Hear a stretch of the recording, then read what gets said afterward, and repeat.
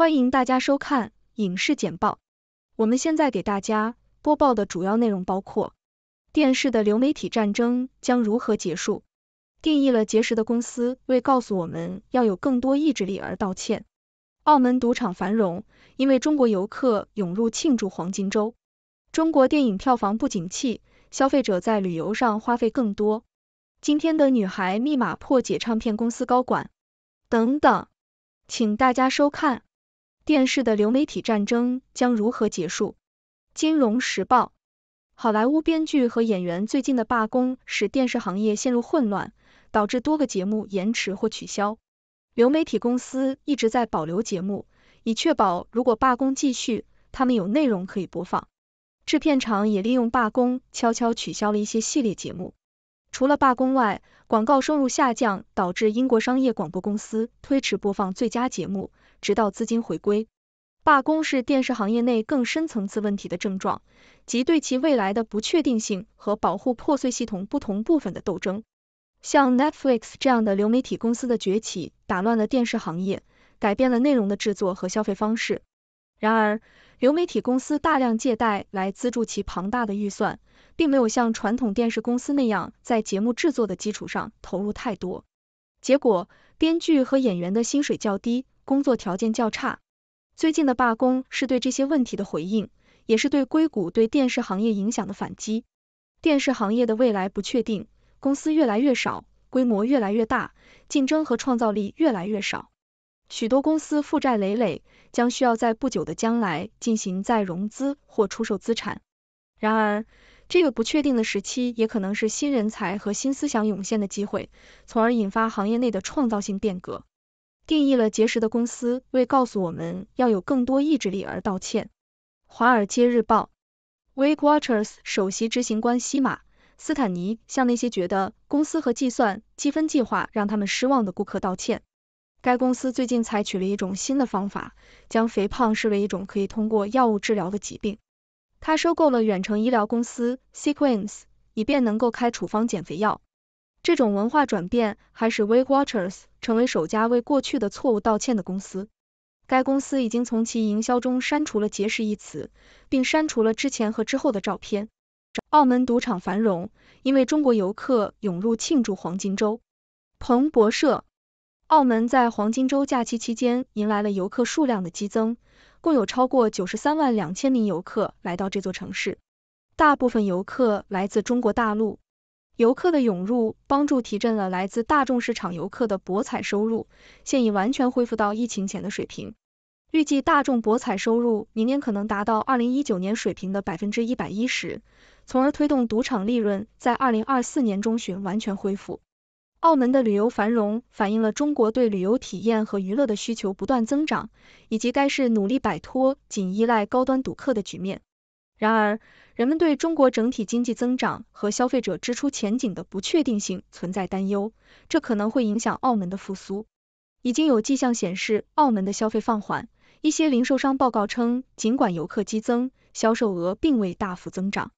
分析师预测，十月份的博彩收入可能达到疫情前水平的百分之七十二，全年恢复百分之六十三。中国电影票房不景气，消费者在旅游上花费更多。彭博社，中国电影市场在黄金周假期期间出现了意外的放缓。黄金周是中国电影观影高峰期之一，缺乏重磅大片的上映和旅游需求的增加，导致票房销售额较二零一九年下降了百分之三十九。这种令人失望的表现可能会对全年数据产生影响。截至目前的票房销售额比二零一九年下降了百分之十四点五。电影市场的放缓，加上旅游和外出就餐支出的增加，预示着中国其他消费领域的复苏速度较慢。此外，电影行业还面临着对电影内容和审查的加强审查的挑战。坎耶、维斯特和比安卡。森索里合法结婚。英国独立报，据报道，坎耶·维斯特 （Kanye West） 和比安卡·森索里 （Bianca Sensori） 在法律上已经结婚。这对夫妇于二零二二年十二月二十日在加利福尼亚州帕洛阿尔托举行了一场保密的婚礼，而这正是维斯特与金·卡戴珊 （Kim Kardashian） 离婚后的一个月。结婚证书是以森索里的全名注册的，而维斯特在二零二一年十月合法的将自己的名字改为耶。这对夫妇被描述为非常私密且彼此专注，目前尚不清楚他们何时开始约会。维斯特和卡戴珊结婚六年，育有四个孩子。宠物店男孩指责德雷克未经许可演唱他们的歌曲。英国独立报，宠物店男孩指责说唱歌手 Drake 在他的新歌 All the Parties 中未经允许使用了他们一九八三年的热门歌曲 West End Girls 的歌词。Drake 在歌中唱到东区男孩和西区女孩，与宠物店男孩的歌曲歌词相似。这对二人组在推特上表示，没有给予任何认可或请求允许。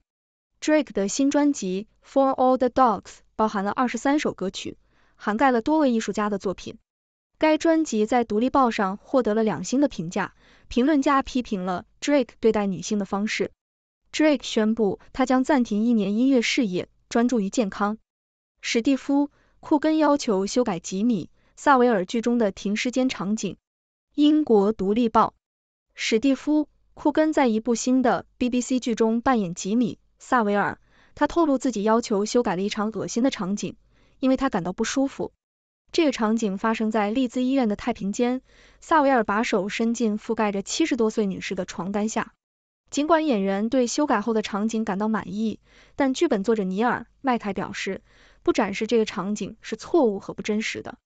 约翰·克里斯在拍摄电影时，以飞不起来的鸟类如何躲避军队的机枪而赢得了比赛。卫报：澳大利亚一九三二年的大儿苗战争的故事将在一部由 Umbrella Entertainment 和 Hot Dead Productions 制作的喜剧电影中登上大荧幕。该片将在墨尔本的 Monster Fest 首映。此前，演员约翰。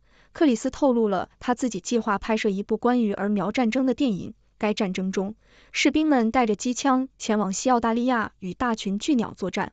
这些儿苗给农民们带来了麻烦，但最终以轻微伤亡的结果取得了胜利。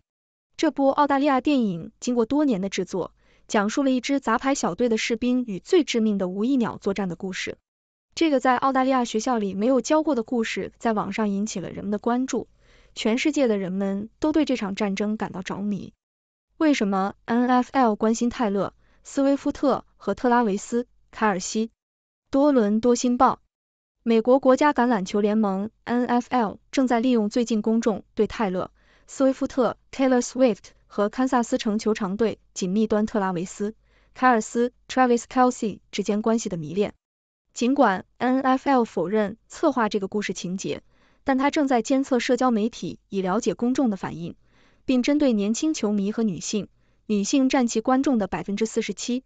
近年来，NFL 一直在努力争取女性，推广女子骑士橄榄球，并雇佣女性教练。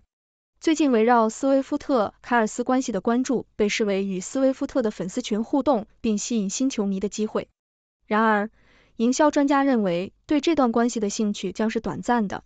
Alter Agents 的创始人兼首席执行官丽贝卡·布鲁克斯 （Rebecca Brooks） 表示，NFL 不太可能因此获得显著的长期提升。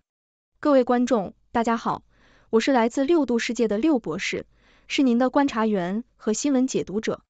让我们来回顾一下今天的新闻。首先，让我们来谈谈电视的流媒体战争。最近好莱坞的罢工导致电视行业陷入混乱，流媒体公司则保留了自己的节目以备不时之需。这显示了电视行业未来的不确定性和保护现有系统的斗争。流媒体公司的崛起改变了电视行业的格局，但他们面临着负债累累的问题。不过，这个不确定的时期也可能是行业创新的机遇。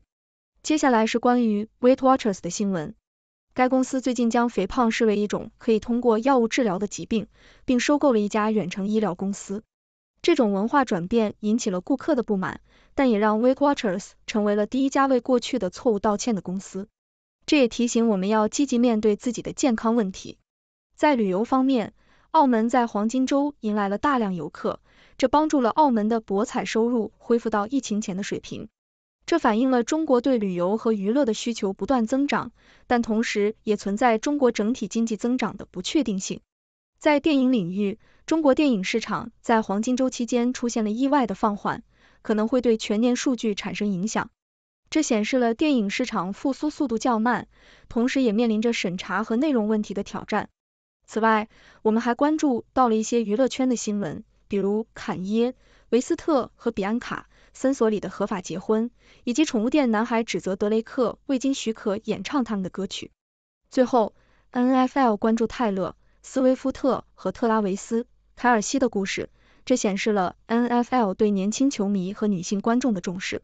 然而，营销专家认为，这种兴趣可能是短暂的，并不会给 NFL 带来长期的提升。以上就是今天的新闻总结和我的观点，我期待听到您的想法和问题。您有什么样的想法？谢谢您的收看。上面播报的内容是六度团队推荐的全球专业媒体、智库、政府机构和行业专家的最新报道、分析简报。更详细的内容，请大家去这些媒体、智库的网站阅读。这些内容并不一定反映六度简报的立场，亦不能作为任何决策的建议。六度团队由专业媒体人、学者、科学家组成的独立新型媒体，大家可以根据自己的专业要求订阅各种简报。网址是六度 brief 点 com。您在世界任何地方都可以通过电邮收到六度简报。